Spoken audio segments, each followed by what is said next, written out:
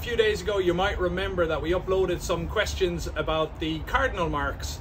Well, it seems a few of you are a little bit rusty on your cardinal marks, so I thought I'd take the opportunity to have a quick refresh. This is a north cardinal, two arrows pointing up, up is north. You must stay to the north of that marker.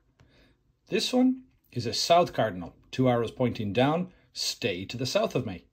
This one is a east cardinal, and we know that because it looks a bit like an egg. E for egg, E for east, stay to the east of me. This one is a west cardinal, looks a bit like a wine glass. W for wine, W for west, stay to the west of me.